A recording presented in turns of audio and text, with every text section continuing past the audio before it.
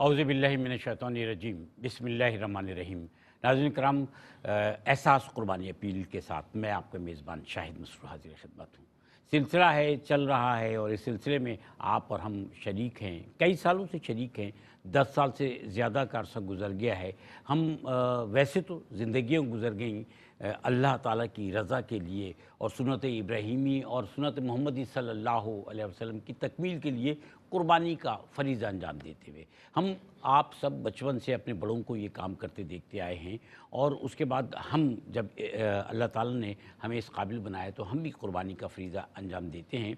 लेकिन कुर्बानी का जो लफ्ज़ है जिसका मफहम हम समझते हैं, हम अपनी ज़बान में भी और दीनी एतबार से, दीन के मफहूम के अतबार से भी कुर्बानी, जिस कुर्बानी को हम समझते हैं, वो कुर्बानी महज ये नहीं है कि हम अपने पास मौजूद पैसों में से कोई आलिशान जानवर लेकर आएँ, उसको नुमाइश के लिए खड़ा कर दें और ना भी खड़ा करें तो जानवर लेकर आएँ उसको ज़िबा करें, कुछ गोश्त अपने पास रखें, कुछ गोश्त जो है वरबा में और रफ़ा कार में तकसीम कर दें।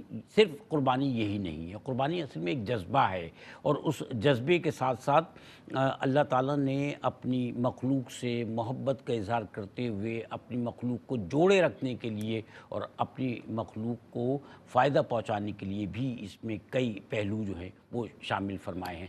अल्लाह ताला ने ये जो हुकूकुल इबाद का सिलसिला हमें दिया है ได้ शरीयत के तहत आप सल्लल्लाहु अलैहि वसल्लम के ज़रिए आप सल्लल्लाहु अलैहि वसल्लम की शख्सियत के ज़रिए ज़ात पाक के ज़रिए जो हम तक पहुँचाया गया वो सिर्फ़ इसलिए है कि हम जो भी फरीज़ा अंजाम देते हैं जो भी वाजिबात हमारे हैं उन सब में अ, हम अल्लाह ताला की मखलूक को किसी न किसी तरीके से फ़ायदा पहुँचा रहे होते हैं। चाहे हम ज़क़़त की अदायगी करें चाहे सदक़ात हों चाहे हम क़ुरबानी करें जो भी मामलात हैं इन तमाम मामलात में अल्लाह ताला की मखलूक तक रिज़्क पहुँच रहा होता है, उन तक फ़ायदे पहुँच रहे होते हैं और उन्हें कुछ न कुछ अल्लाह ताला ने कुछ सिस्टम ऐसा बनाया है कि कुछ न कुछ ऐसे लोग जुड़ जाते हैं, इंसान जुड़ जाते हैं कि उनके दरमियान मोहब्बतों के सिलसिले उस्तवार हो जाते हैं। अब मोहब्बतों के सिलसिलों को उस्तवार करना ही असल में अल्लाह ताला की रज़ा हासिल करना है और अल्लाह ताला की रज़ा हासिल करने के लिए जब हम मोहब्बतों के सिलसिलों को उस्तवार करते हैं तो फिर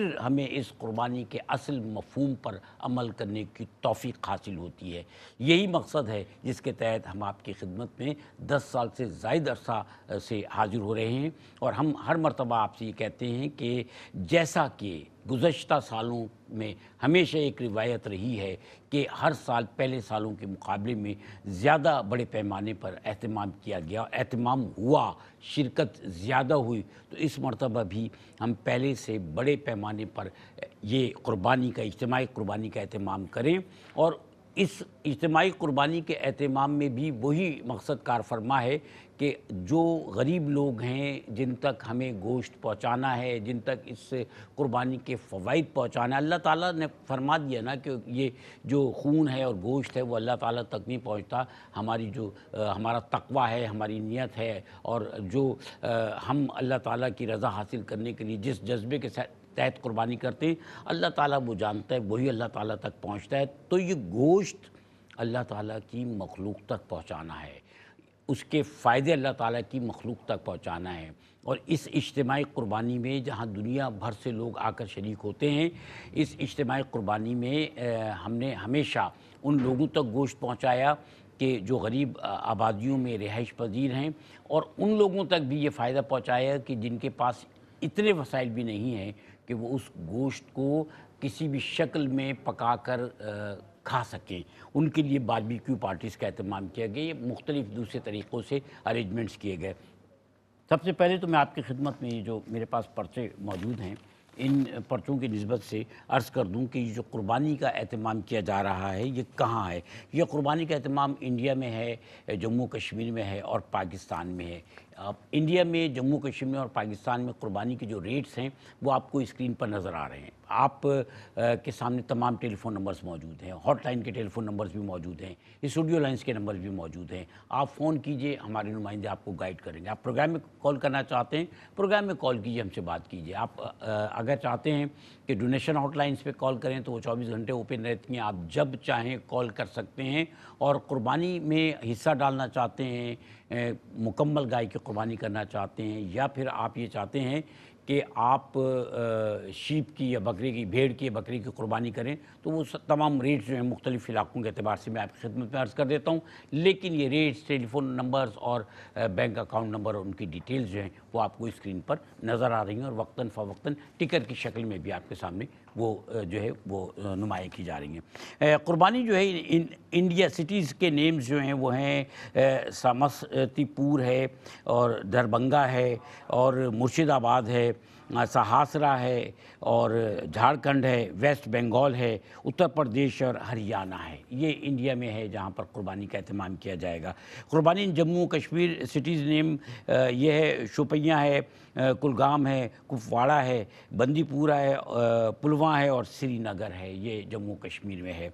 पाकिस्तान में जो कुर्बानी का अहतमाम किया जा रहा है, ये कराची में, हैदराबाद में, शिकारपुर में, लाड़काने में और पंजाब में जो है वो खाने वाल में अहतमाम किया जा रहा है। आपके सामने स्क्रीन पर बहुत सारी जो है वो वीडियोज़ हैं जिसमें आपको वो जानवर दिखाए जा रहे हैं कि जिन जानवरों को बाकायदा जो है वो जिनकी परवरिश की जाती है, जिनकी निगहदाश्त की जाती है, जिनको डॉक्टर से जिनका मुआयना कराया जाता है। आजकल जो एक सबसे बड़ा जो इशू है वो है जानवरों में बीमारी के अतबार से। तो जानवरों में जो बीमारी के अतबार से मामला हैं और ये हकीकत है कि आप किसी भी जगह ऐसे जानवर को तंदुरुस्त जानवरों में ला के खड़ा कर देते हैं जो बीमार है तो बाकी तमाम जानवरों को।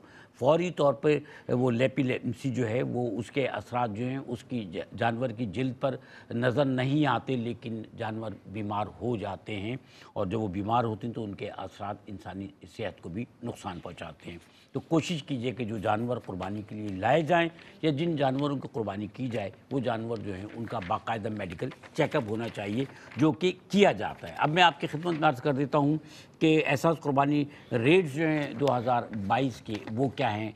तो पाकिस्तानी कुर्बानी in Pakistan share in cow 65 pounds and 80 US dollars. गाय में जो एक हिस्सा है, उसके लिए आपको पैंसठ पाउंड या 80 यूएस डॉलर्स जो है वो देना होंगे। इसी तरह फुल काव जो है, मुकम्मल गाय 445 445 पाउंड्स या फिर 560 यूएस डॉलर्स और अगर आप चाहते हैं गॉट एक कोई बकरा करना चाहते हैं तो ऐसी सूरत में 135 पाउंड्स या 175 यूएस डॉलर्स आपको पाकिस्तान में कुर्बानी के लिए देना होंगे। आपके सामने स्क्रीन पर भी ये रेट्स नज़र आ रहे हैं। कुर्बानी in India share in cow 25 pounds 37 US dollars full cow 175 pounds 259 US dollars. Uh, got 125 pounds 200 US dollars ये रेट भी इंडिया के लिए हैं जो स्क्रीन पर आपको नज़र आ रहे हैं। इसी तरह से जम्मू कश्मीर में जो है वो शीप है, भेड़ है 155 पाउंड या 225 यूएस डॉलर्स इसके लिए आपको देना होंगे। वन वन फिफ्टी फाइव या two fifty five US dollars sheep के लिए, एक भेड़ के लिए। आपके सामने स्क्रीन पर बकरे मौजूद हैं, भेड़ें भी आपको दिखाई जा रही हैं मुख्तलिफ़ वक्तों में। ये वो जानवर हैं कि जिनको एक अच्छे माहौल में सफ़ाई सुथराई के साथ डॉक्टर्स की मौजूदगी। भीड़ भी आप देखें, आपके सामने स्क्रीन पर मौजूद हैं। ये तमाम जानवर जो इनकी निगहदाश्त की जाती है और इनकी कुर्बानी की जाती है और इनका गोश्त लोगों तक एक मखसूस तरीके से हिफान सेहत के असूलों के मुताबिक पैकिंग करके और एक गोश्त की बड़ी मकदार लोगों तक पहुँचाई जाती है। इसके बाद जनाब, आपसे एक और सिलसिला है जिस पर हम अपील करना चाहते हैं कि वही वाली बात है कि जब भी कोई खुशी का मौका आए तो हमें चाहिए कि हम उन बहन भाइयों की तरफ़ भी अपने नज़र डालें कि जो दुनिया में या पाकिस्तान में या इंडिया में या जम्मू कश्मीर में मुख्तलिफ़ जगहों पर ऐसे हालात का शिकार हैं कि जिनकी वजह से उनके पास राशन के प्रॉब्लम्स भी हैं। तो ये एक बहुत एहसास का पुराना सिलसिला है, मुस्तकिल सिलसिला है कि एहसास के तहत ऐसी फैमिलीज़ को राशन जो है एक महीने का प्रोवाइड किया जाता है। छोटी फैमिली पाँच छः सात अफराद पर मुश्तमिल, उसको राशन प्रोवाइड करना चाहते हैं, आप तो सिक्सटी फाइव पाउंड या seventy five U S dollars एक फैमिली को एक महीने का राशन फ्राहम करने के लिए। 65 पाउंड या 75 यूएस डॉलर्स ये रकम बज़ाहिर ये एक रकम उन लोगों के लिए जो साहिब इस्तात हैं, छोटी रकम है, लेकिन उन लोगों के लिए एक बहुत बड़ी रकम है और बहुत बड़ा अरेंजमेंट है कि जिन लोगों के पास ये जो खाने पीने के प्रॉब्लम्स हैं, राशन नहीं होता है ऐसी फैमिलीज़ के लिए। सफ़ेद पोश लोग, वो लोग जिनके यहाँ कमाने वाला कोई नहीं है। या वो फैमिली के, जिस फैमिली में अगर कोई शख्स मौजूद है कमाने वाला तो वो बीमार है, बिस्तर पर है, ऐसे लोगों को दवाओं की भी ज़रूरत होती है। दूसरे भी मामला हैं। कोशिश कीजिए कि ऐसे लोगों के लिए आप आगे बढ़कर आएँ।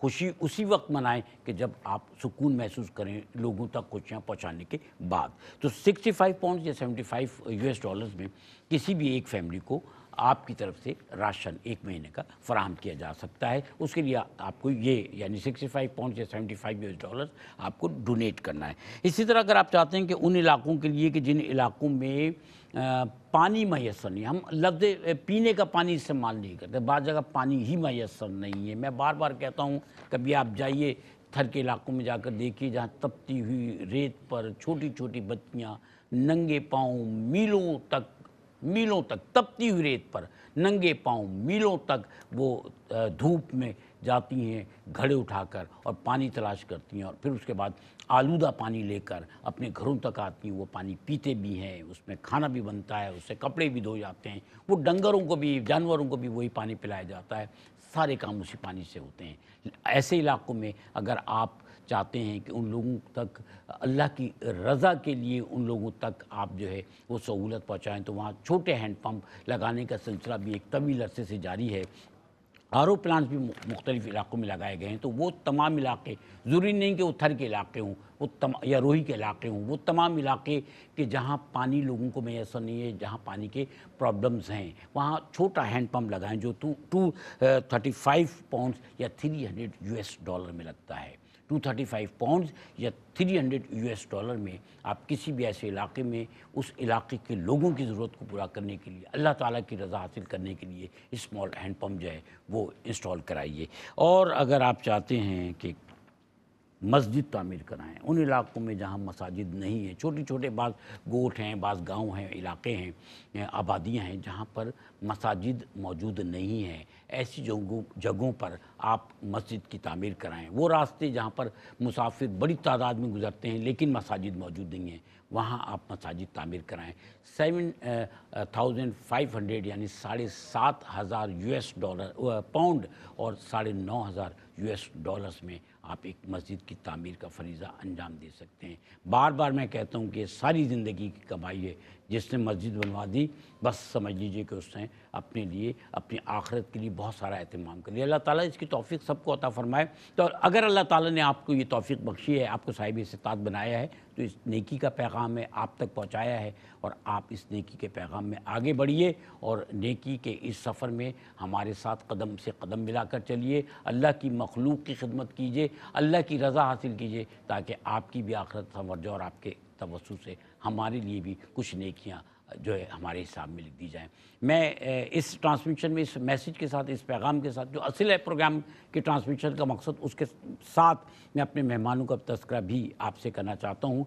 पाकिस्तान समेत ये ट्रांसमिशन जो है, ये यूएस से में और मुख्तलिफ़ ममालिक में A R Y digital U S A पे और जौक पर आप देख रहे हैं क्यू टी वी पर पाकिस्तान समेत दुनिया भर में देख रहे हैं। पाकिस्तान के वक्त के मुताबिक ये ट्रांसमिशन जो है, रात एक बजे से लेकर रात के तीन बजे तक आपकी खिदमत में पेश की जाएगी। इस दौरान में हम चाहेंगे कि आपकी ज़्यादातर टेलीफोन कॉल्स आप स्टूडियो में कॉल करना चाहते हैं, हमसे बात कीजिए। नहीं करना चाहते हैं, आप डोनेशन हॉटलाइन पर कॉल कीजिए और आप बताइए कि आप जो है, वो क्या डोनेशन देना चाहते हो कुर्बानी में हिस्सा लेना चाहते हैं तो किस तरीके से लेना चाहते हैं। इस सिलसिले में मजीद भी आपसे बात करेंगे। लेकिन मैं अपने मोज़ मेहमानों का आपसे तारुफ़ करवा रहा हूँ।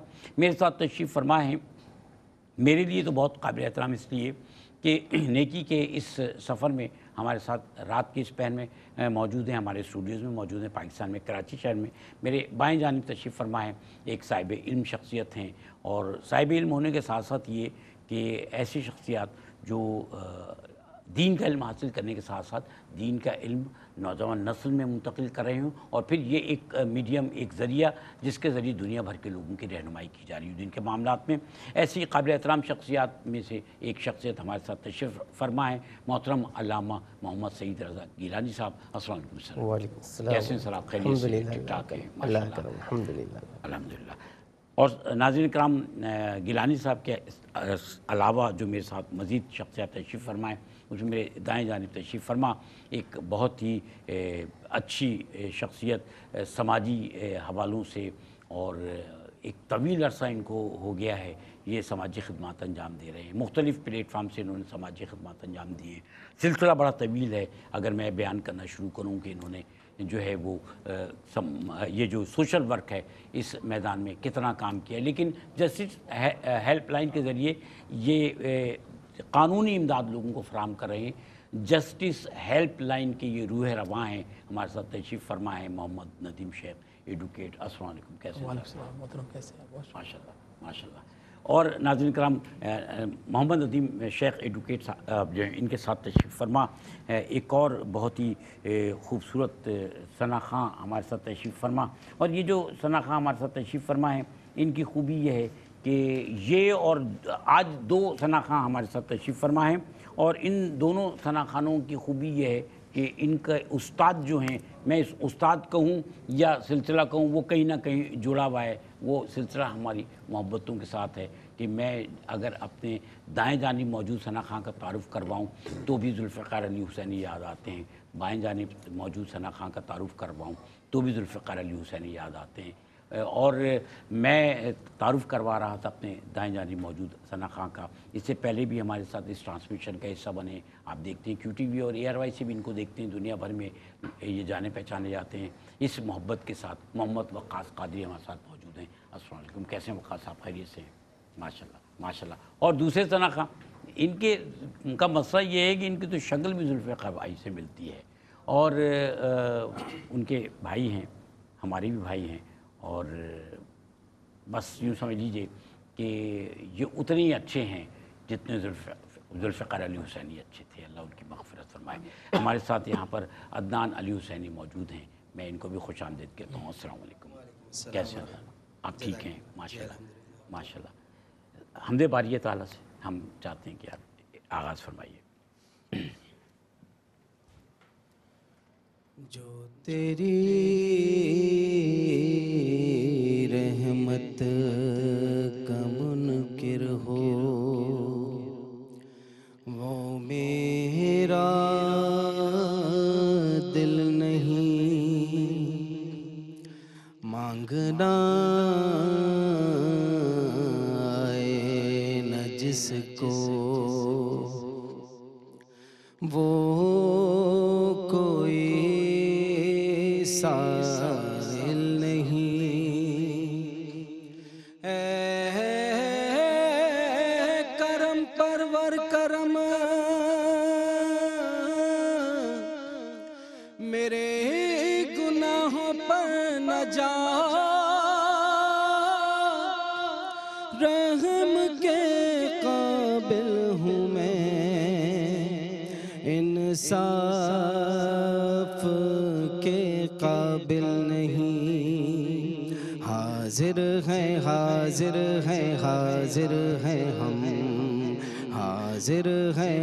हाजिर हैं हाजिर हैं हम मेरे अल्लाह। हाजिर हैं हाजिर हैं हाजिर हैं हम। हाजिर है हाजिर है हाजिर है हम। लब्बैक अल्लाहुम्मा, लब्बैक लब्बैक लब्बैक। अल्लाहुम्मा, लब्बैक लब्बैक।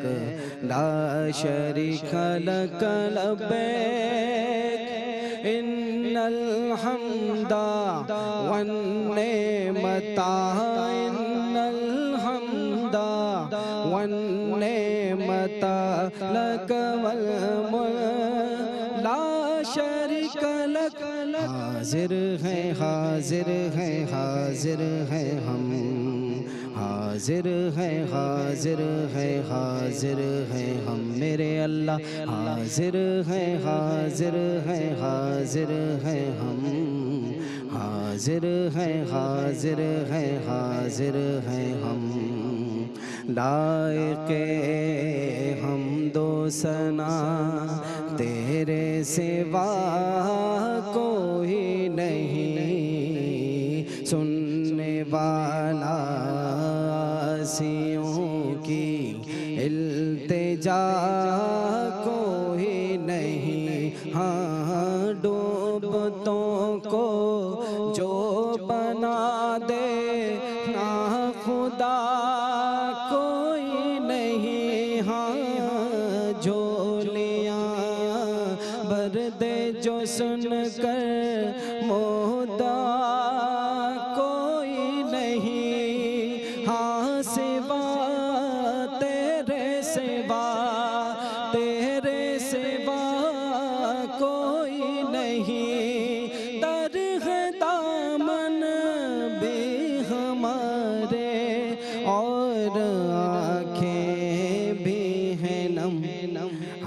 हाजिर है, हाजिर हैं हाजिर हैं हम।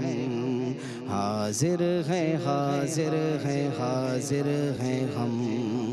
ये शरफ के आदमी अल्लाह के घर जाएगा।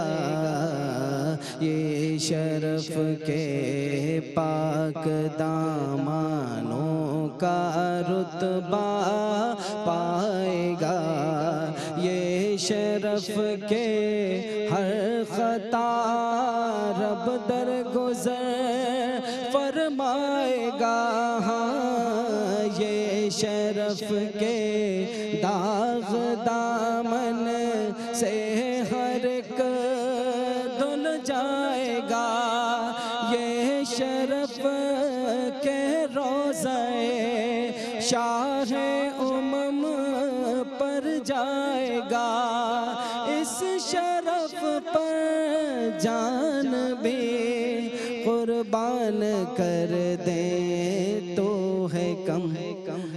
हाजिर है हाजिर है हाजिर है हम। हाजिर है हाजिर है हाजिर है हम। मेरे अल्लाह, हाजिर है हाजिर है हाजिर है हम। हाजिर है हाजिर है हाजिर है हम।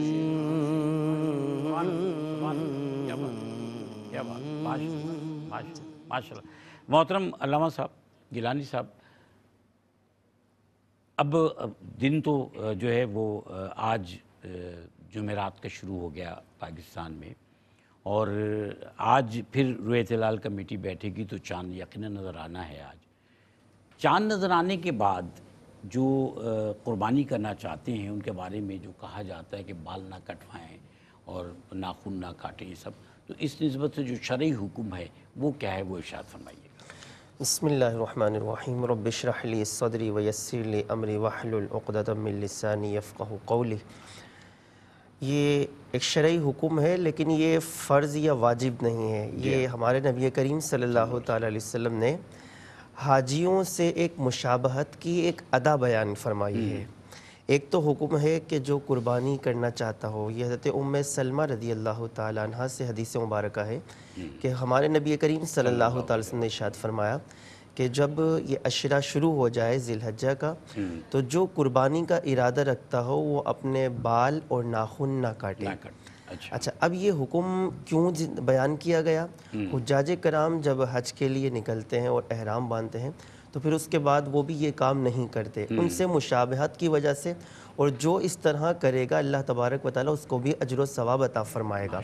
तो जो कुर्बानी करने का इरादा रखते हैं उनके लिए तो ये हुक्म मुस्तहब में है कि अगर वो भी इस तरह करें कि चाँद नज़र आने के बाद अपने बाल और नाखून ना कटवाएँ और फिर ईद वाले दिन कुर्बानी करने के बाद। फिर अब बाल और नाखून काट लें तो अल्लाह तबारक व ताली उनको ढेरों अजर सवाब अता फरमाएगा। अच्छा इससे रिलेटेड एक और हदीस मुबारक हमें मिलती है। हज़रत अब्दुल्ला बिन अमर बिन आस रदी अल्लाह तु से हदीस मुबारक रिवायत है कि एक शख्स ने नबी करीम सल्लल्लाहु अलैहि वसल्लम की बारगाह में अर्ज़ की। अच्छा अंदाज़ देखिए अब हमारे नबी करीम सल्लल्लाहु अलैहि वसल्लम से जब सहाबाई कराम सवाल करते थे उसमें क़यामत तक के लोगों के लिए कोई ना कोई फ़ायदेमंद बात आ जाती थी। अब देखिए सवाल क्या हुआ? उसने अर्ज़ की कि अल्लाह के नबी सल्लल्लाहु अलैहि वसल्लम मेरे पास कोई ऐसा जानवर नहीं है जिसकी मैं कुर्बानी करूँ। अब हुक्म ये बताया गया था कि वो जो कुर्बानी का इरादा रखता हो वो बाल और नाखून ना ना काटे। काटे अब यहाँ पर उसने अर्ज़ की मेरे पास कोई ऐसा जानवर नहीं है। हमारे नबी करीम सल्लल्लाहु अलैहि वसल्लम ने उसको भी हुक्म दिया कि तुम भी अगर इस तरह का अमल करोगे अल्लाह तबारक व ताली इसी में तुम्हें कुर्बानी का सवाब अता फरमा देगा।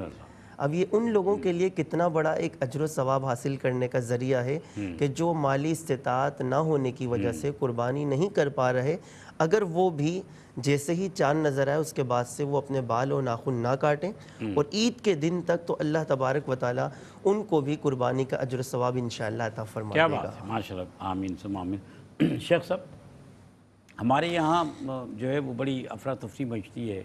सफ़ाई सुथराई के मामला कुछ थोड़े से जो हैं वो सफ़र हो जाते हैं जब कुर्बानी होती है तो। हमें कितना सिविलाइज भी होना चाहिए। बहुत अच्छी और बहुत पाकिज़ा बात बोली आपने कुर्बानियाँ को जज्बे के साथ साथ हमें इसका भी एहसास करना है कि हमने किसी पड़ोसी को तकलीफ़ नहीं देनी। जी हाँ।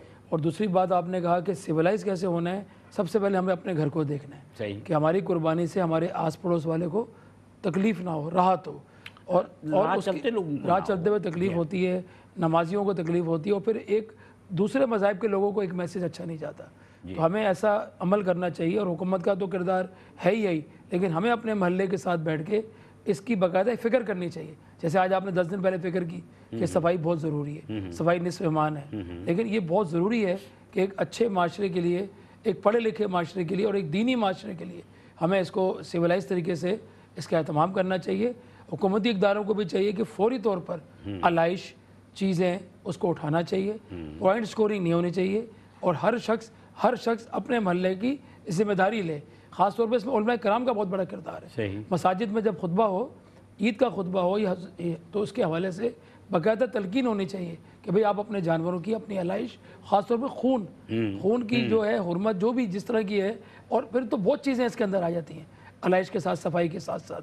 तो हमें उसके बाद हम तो चले जाते हैं लेकिन उसके बाद रात दिन तक वो लोगों को तकलीफ़ के बायस बनती है। आमतौर पे गाड़ी आई जी, उठा जी, के चली गई पता चला जैसी लेके गई फिर फेंक दी। बीमारियों का बीच में फेंक दी। हम कुर्बानी जो है वो भी आमतौर पर बीच में करते हैं जाकर ना जी जी बिल्कुल रोडों के अंदर करना और ये सब चीज़ें हाँ। ये सब तकरीब नहीं है। कुर्बानी का एक एक एक अदाब है।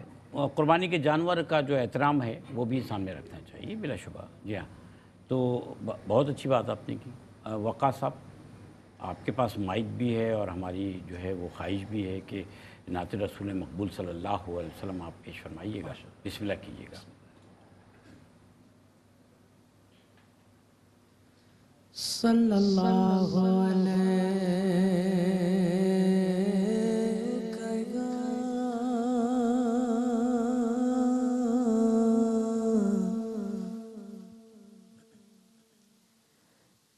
या रसूल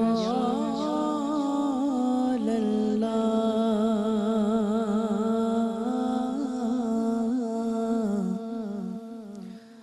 वसल्लम अलैका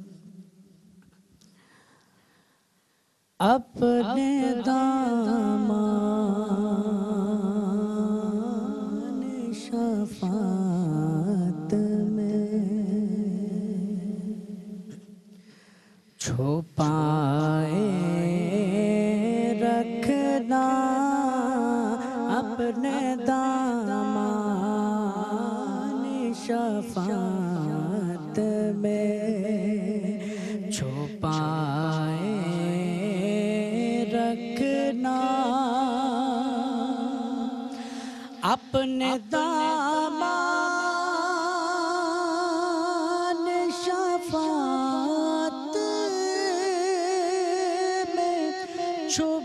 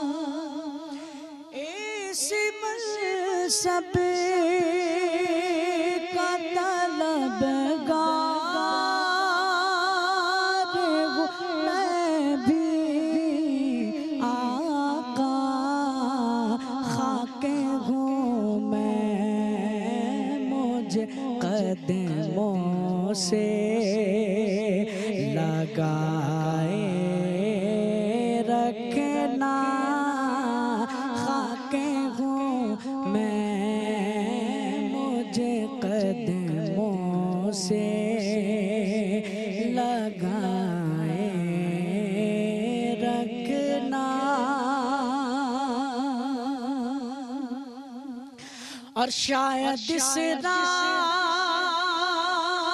से खालिद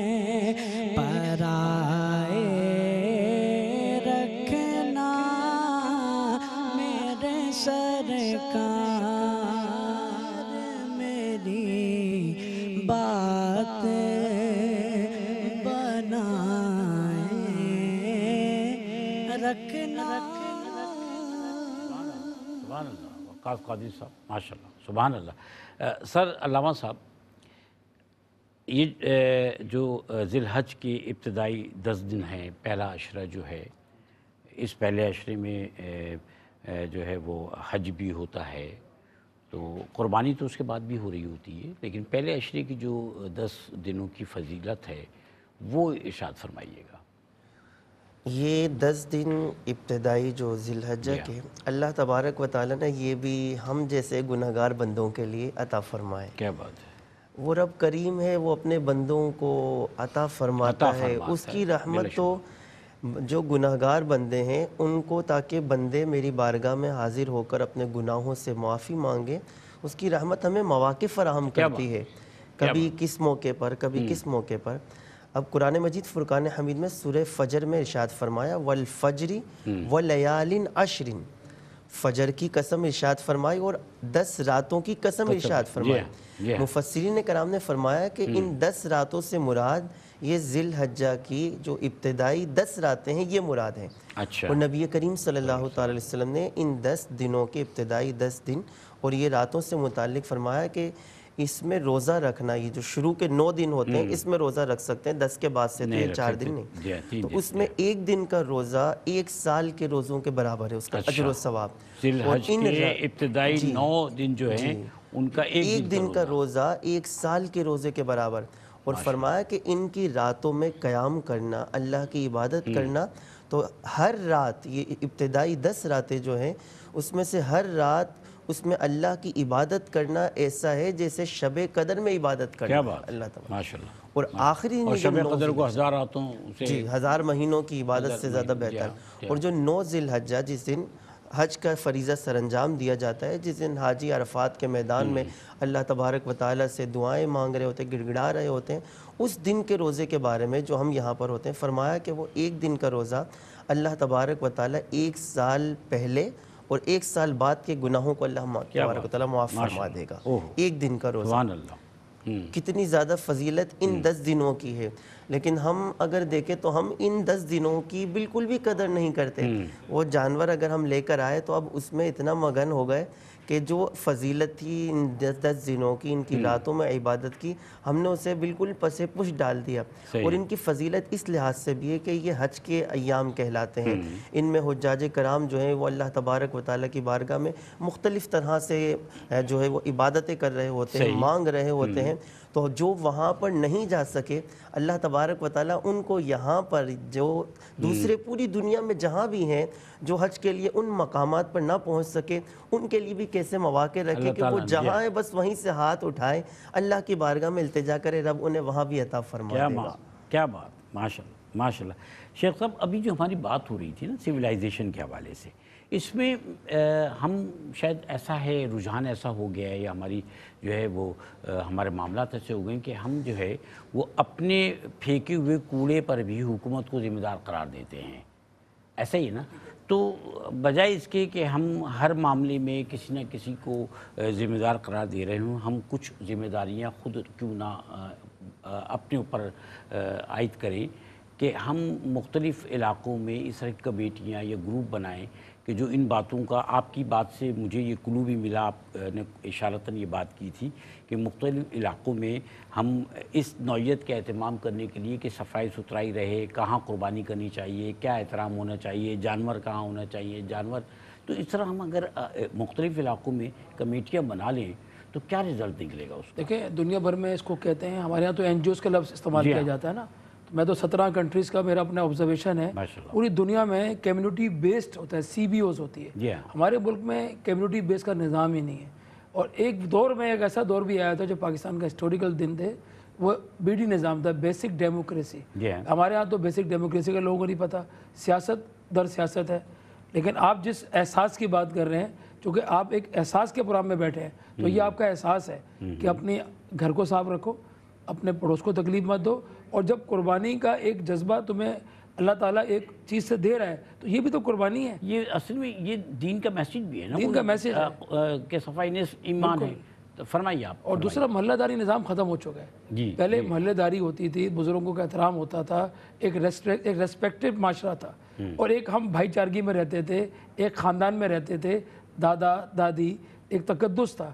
अब दिन ब दिन मामला आइली कवानीन और अब तो इस हद तक कोर्टों की सिचुएशन है जो टॉपिक की हटकर बात कह रहा हूँ कि तलाक और खुला का रेशियो इस हद तक बढ़ गया है कि अदालतों में हज़ारों बल्कि लाखों केसेस पेंडिंग पड़े हुए हैं कि अल्लाह के वास्ते इस चीज़ को भी तो देखा नफ्सियाती मसाइल हो गए हैं जी हाँ लोग अब मोबाइल की नफसा नफसी हाँ। मोबाइल की दोस्ती इस हद तक हो गई है कि सामने बहन बैठी है हम्म। भाई बैठा है कोई तकदस नहीं है कोई एहतराम नहीं है पेरेंट्स पता का ही नहीं कौन सा इकराम खत्म हो चुका है। स्क्रीन पे वो जो मसनूई दुनिया है हम उस पर चले गए हैं जो रियलिज्म है और रियलिटी है हम उससे दूर हो आर्टिफिशियल लाइफ है हाँ। और हम उसमें चीज़ों से और आगे जा रहे हैं और मुझे तो इससे अगला दौर नज़र अच्छा नहीं आ रहा।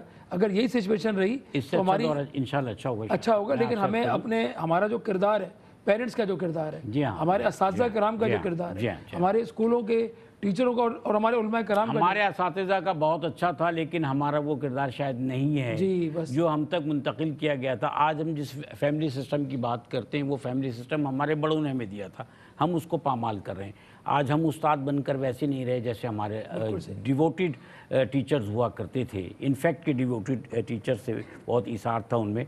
मैं सर आपसे जानना चाह रहा हूँ कि तीन दिन जो कुर्बानी के हैं इन तीन दिनों में क्या ऐसा है कि कोई एक दिन या किसी एक वक्त की कुर्बानी बाकी दिनों के मुकाबले में अफजल हो या एक ही जैसी सूरत हाल है? अच्छा इस सवाल का जवाब से पहले अभी जो गुफ्तु चल रही सर थी सर। मैं इसमें एक बात का और इजाफा करूँगा।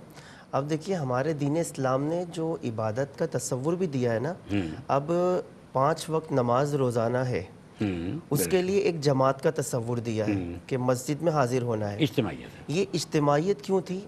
कि जब कोई शख्स लगातार आ रहा किसी दिन नहीं आया तो आपस में एक दूसरे से एक दूसरे की खैर ख्वाही कि क्या हुआ कहीं बीमार तो नहीं कोई मुसीबत तो नहीं। अगर कोई मुसीबत है तो उसके साथ उसकी जितनी हेल्प की जा सकती है वो की जाए। इसके बाद जुमतुल मुबारक का एक जो दिन है वो भी इसी लिहाज से कि एक पूरे इलाके के लोग एक जगह पर जमा होकर एक दूसरे की जो मामलात हैं उसको शेयर करें एक दूसरे के हालात से वाकिफ़ हो सकें। इस्लाम की इज्तमाही इबादत का तस्वुर यही है कि एक दूसरे के जो है वो तमाम मामलात को एक दूसरे के अब आप देखिए पड़ोसी के कितने हुकूक हैं। पड़ोसी के हुकूक नबी करीम सल्लल्लाहु अलैहि वसल्लम ने इस कदर बयान फरमाए कि सहाबा कराम अर्ज़ करते हैं कि हमें ये महसूस होता था कि कहीं विरासत में भी हिस्सा ना दे दिया जाए। जी हाँ जी हाँ इतने। हाँ। और यहाँ तक फरमाया कि वो शख्स जिससे उसका पड़ोसी उससे महफूज नहीं है वो शख्स जिसके हाथ जिसके हाथों से उसका पड़ोसी महफूज ना हो।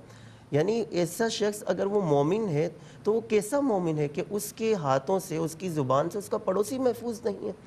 यानी एक मुसलमान तो ऐसा हो कि जो अपने लिए पसंद करता है वो अपने मुसलमान भाई के लिए पसंद करे। नबी करीम सल्लल्लाहु अलैहि वसल्लम की हदीस मुबारक मौजूद है। फरमाया ला युमिनु अहदुकुम हत्ता युहिब्बु अखीका मा युहिब्बु लिनफ्सिका औ कमा क़ाल नबी सल्लल्लाहु अलैहि वसल्लम फरमाया कोई शख्स उस वक्त तक कामिल मोमिन नहीं हो सकता जब तक अपने भाई के लिए वो पसंद, वो पसंद, ना ना करे जो करे अपने लिए पसंद कि जो वो अपने लिए बिला शुबा सर इंशाल्लाह वो सवाल जो मैंने किया था वो सवाल जो उसका जवाब मैं आपसे लूँगा। मैं वक्फे पर जाऊँगा लेकिन वक्फे पे हम जाएँगे अदनान अली हुसैनी के इस नातिया कलाम को सुनते हुए। इरशाद फरमाइए सर। दरे नबी पर पड़ा रहूँगा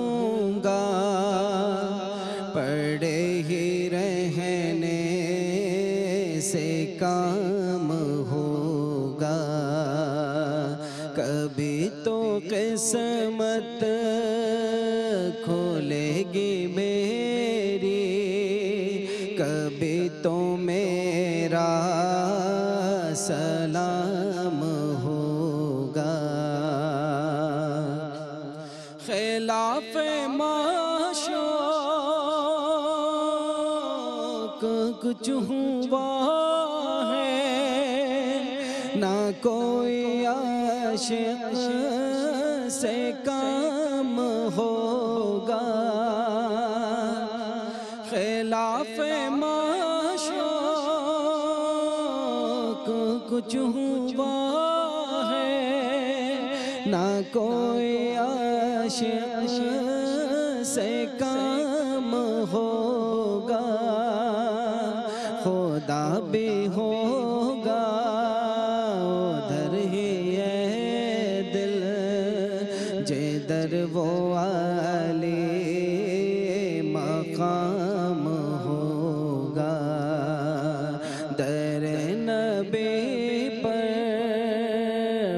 पड़ा रहूँगा। पड़े ही रहने से काम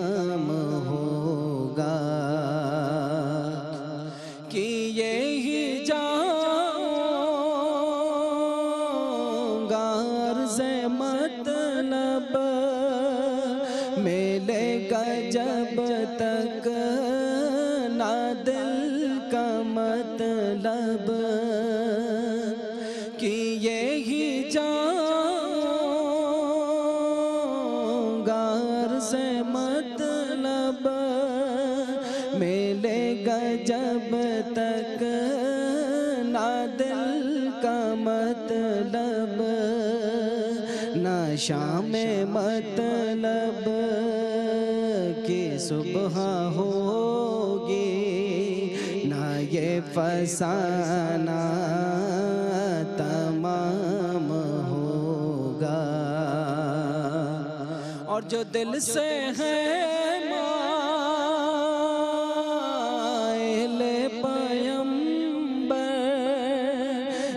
उसकी पहचान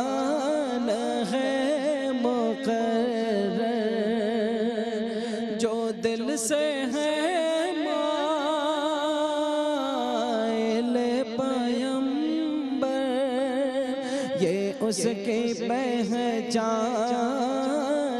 है मुकर के हर दम उस बेनवा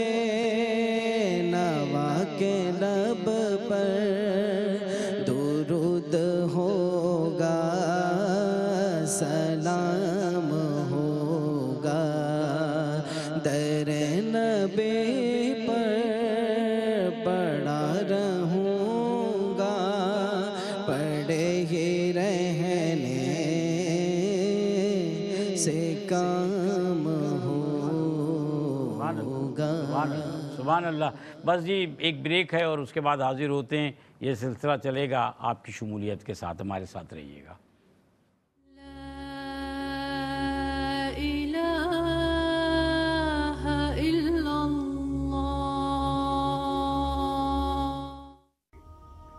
नाजिन अगर आप ऐसी ही मज़ीद वीडियोस देखना चाहते हैं तो हमारा A R Y Q T V का चैनल सब्सक्राइब कीजिए।